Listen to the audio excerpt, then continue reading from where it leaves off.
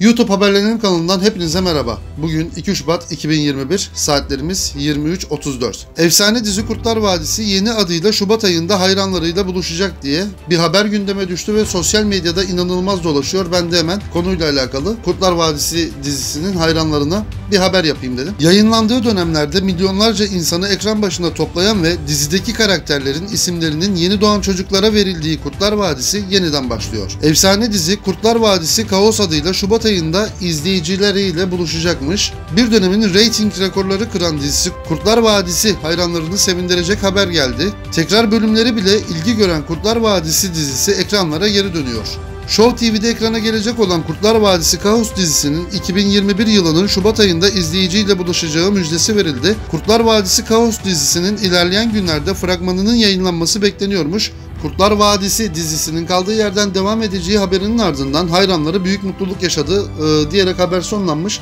Tabi pandemi sürecinde biliyorsunuz sokağa çıkma kısıtlamaları var ki şu anda bile sokağa çıkma kısıtlaması var. Ama insanlar dinlemiyor fıldır fıldır sokaklarda geziyorlar. Ben hatırlıyorum Kurtlar Vadisi dizisinin yayınlandığı dönemlerde pandemideki sokağa çıkma kısıtlamasından daha çok insan evde kalıyordu. Ee, bakalım yine aynı etkiyi verecek mi? Bir sonraki haberde görüşmek üzere. Şimdilik hoşçakalın.